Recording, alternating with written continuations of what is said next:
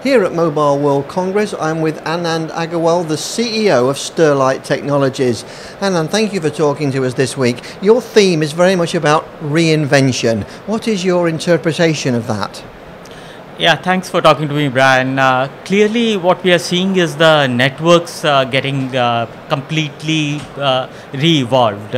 Uh, we are seeing that happening for variety of our customers. Uh, we're seeing it for the traditional communication service providers.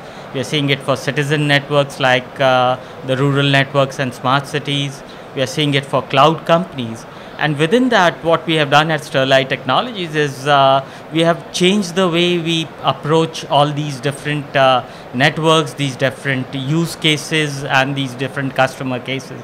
So uh, we are all about uh, enabling the network from the base transport layer, uh, which is the fiber that we do, on, on that fiber layer, we are uh, completely um, uh, enabling solutions which are open source, which are disaggregated. And so uh, we are now uh, designing and developing and uh, offering solutions which are end to end solutions based on a transport layer, a white box hardware, and open disaggregated software solutions which go from a network software layer to the BSS layer and that's the uh, reinvention as a company we are doing. And we are uh, uh, doing multiple use cases with our customers and our customers are loving it so. Yes i mean uh, you're obviously doing something very well. Your recent figures were outstanding. Tell us a bit about your international growth.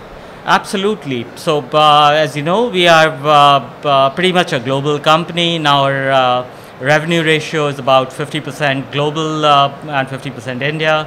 And this this has been growing. This has been growing on the strength of the fact that uh, we bring in these uh, uh best use case examples uh, to our customers. And we get engaged with uh, all of them at much earlier than a requirement sort of flows in.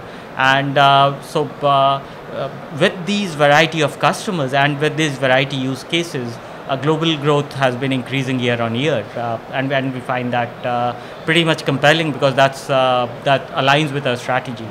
Now you have a very bright stand here at Mobile World Congress, very effective. Um, tell us uh, what for you have been some of the main themes of the show this year. So uh, clearly, what we are seeing is 5G is here. 5G is making a splash, but it's beyond the technology. It's that the use cases from consumer to industries to uh, say uh, use cases in the cities are all getting evolved. And uh, the great thing about 5G is the fact that it is uh, it is a completely disaggregated network.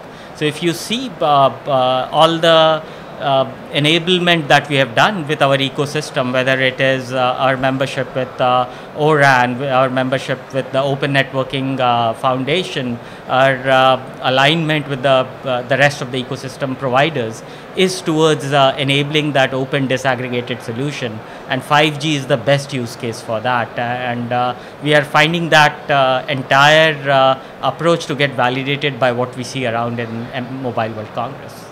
Well, it sounds a very exciting time for the company. Thank you so much for joining us. Absolutely. Thank you, Brian, for having us. Yeah.